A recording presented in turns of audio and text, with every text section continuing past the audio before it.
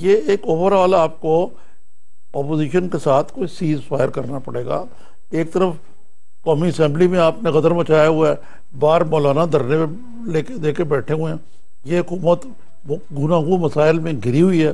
اس کے باوجود ان کو احساس ہی نہیں ہے کہ یہ سمجھ رہے ہیں کہ کیوں ان کی نوکری بڑی پکی ہے اس لیے جو چاہے یہ کرتے رہے۔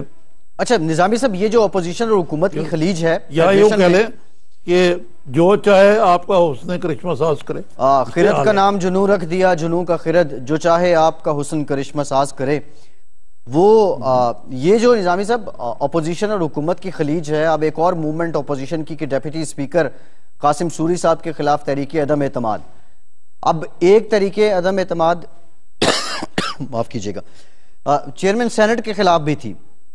اس طریق کا ڈراپ سین آپ کو کیا لگتا ہے؟ کچھ ویسا ہی ہوگا یا کچھ مختلف بھی ہو سکتا ہے؟ یا پہلے ہی واپس لے لی جائے گی؟ یہ دیکھیں وہ ایک تو یہ بات کے قاسم سوری صاحب ڈسکوالیفائی ہو گئے تھے ای سی پی نے کر دیا تھا۔ جی جی۔ وہ کافی ریکنگ کا الزام تھا اب لیکن کورٹ نے بحال کر دیا۔ تو اب وہ اس کے حوالے سے اسپیکر ہیں۔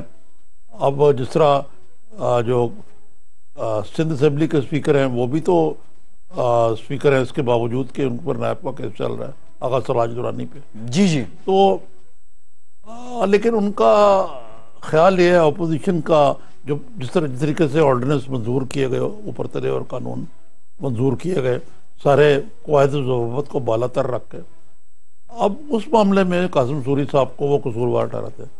قاسم سوری صاحب کہتے ہیں کہ جو کچھ میں نے کیا وہ انڈر دی رولز کیا۔ جی۔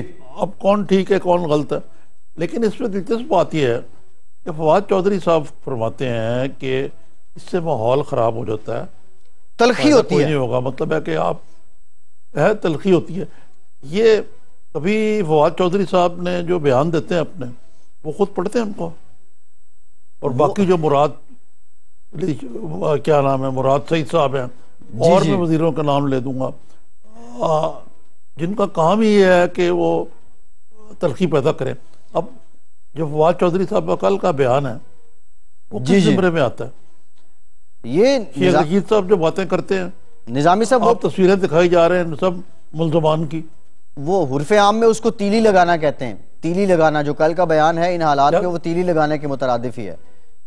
فواد چودھری صاحب کا۔ شیخ صاحب ہاں، لیکن دیکھیں نا دیکھیں نا یہ لیکن there is a method in this madness جی ایک۔ طرف پرائم منسٹر صاحب کہتے ہیں یار کہ یہ نواز شریف کی بیماری کے بارے میں بیانات جو ہے نہ دیے جائیں دوسری طرف یہ بیان بھی آتے ہیں کہ یہ کہ جی میاں نواز شریف کو تو مر جانا چاہیے انہوں نے ایک بھی اسپتالے بنائے یہ ایک بیمار آدمی کے لیے انتہائی میں سمجھتا ہوں کہ یہ پست سینس آف امیر یا پستی کی نشانی ہے۔